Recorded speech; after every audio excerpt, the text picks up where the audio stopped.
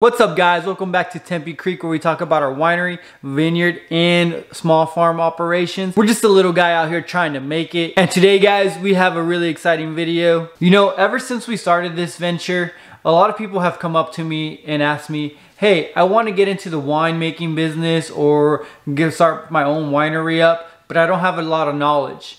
And what I always tell them is the same thing. If you're worried about your first vints or you're just getting up your skills, what you should do is buy juice from the store and practice on that juice. Today, I'm taking my own advice and I'm gonna go ahead and make wine from store-bought juice. So let's buckle up and let's go to the most exciting place on earth.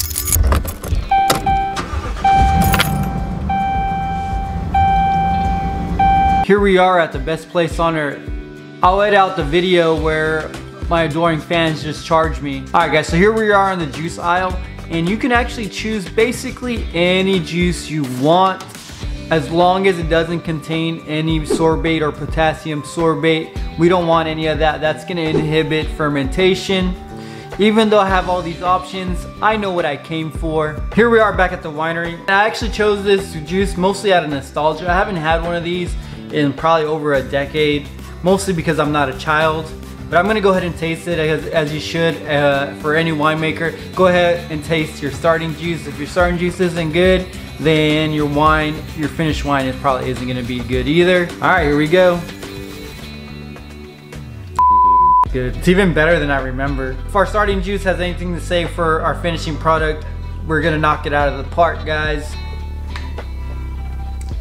Now I'm just drinking it because I want it. All right guys, let's go ahead and test our juice and see our starting parameter. I already looked at the acidity and it's at a 2.6, which is on the low end, but still perfectly fine. In case you're wondering, acidity should be no low, no higher than 3.4 and go as low as 2.2, somewhere around there, but although that's pretty low, um, I personally shoot for 3 even or 2.9. If your juice was low, you'd probably add in some juice with extra acidity or you can go ahead and add in some tartic acid. We don't need to do anything at all, so those of you following along don't need to do anything there. The next thing is we're gonna go ahead and measure Brix or our starting gravity. Looking at the refractometer, our starting sugar is low, low, low, which is surprising. People always complain about how much sugar is in these things.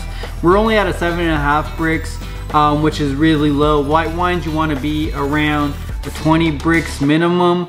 Um, we're obviously dealing with a red here. So we're gonna try to go with a 13% alcohol thereabout. We really wanna be closer to 25 uh, 26 Brix. So we need to add a ton of sugar to this. But before we can add in any sugar, I guess it's time for us to press our grapes. I mean, juice.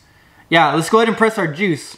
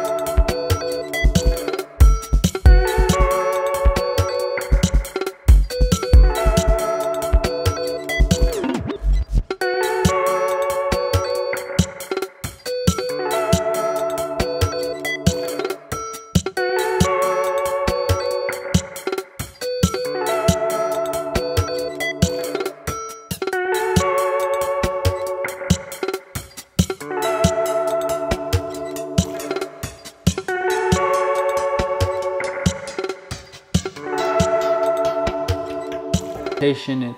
The, I know the impulse is that you want to go ahead and use one of these, one of these airlocks and go, to go ahead and uh, put it on there. Do not do that. It's gonna go all up your, your siphon. Right now what we're doing is a process called open fermentation. You're gonna go ahead and leave this bad boy open.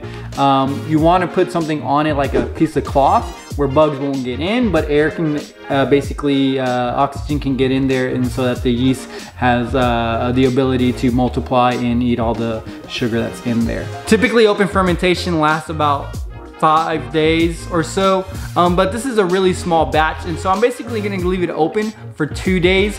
And then I'm gonna go ahead and put my uh, airlock on there. All right, this is a good point to stop the video. Next week's video, we're gonna basically rack the uh, wine and get it ready for uh, aging. I know guys, this was a really small batch, but if I this video gets enough traction, I will actually go ahead and make a large batch of this, maybe even 100 gallons if we can get this video to really get promoted. And if that happens, I will have it here for you guys. If you ever come to the winery, I'll have it here. It will be our super secrets menu item. If you thought this video was useful, guys, please hit that thumbs up for me. It really helps me out. If you want to follow along this process, go ahead and subscribe so that you, you catch the next video when it drops. Other than that, guys, congratulations. You are now winemaker.